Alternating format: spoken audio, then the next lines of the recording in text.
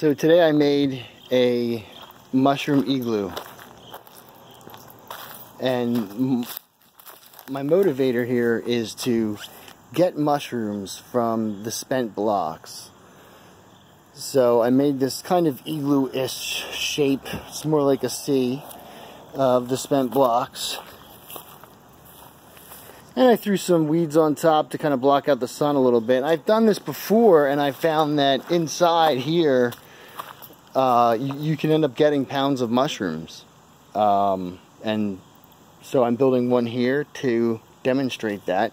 On the side here is the more contaminated blocks. I just kind of brush them around and eventually turn them into soil.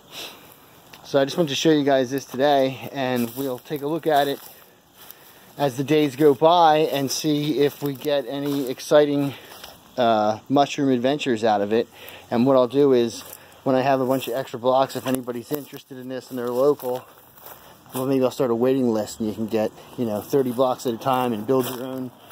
And you'll definitely get mushrooms out of this. This guy here was just contaminated, but only a little bit, so I'm going to leave him in the bag. It's still safe to eat the mushrooms if the bag has mold on it, just as long as the mushrooms aren't moldy. So I'll probably end up eating them myself, though, because they're pinks and they go so fast. Outside, they grow like 10 times faster.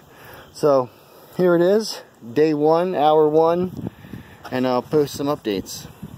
Check out my Instagram, Fifth Street Mushrooms, with an underscore in between the words. Or look up, look me up on Facebook, Fifth Street Mushrooms in Perkasie.